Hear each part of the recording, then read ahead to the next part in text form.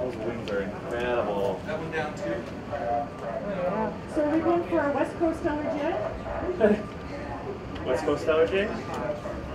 Hilarious. You're both West Coast then.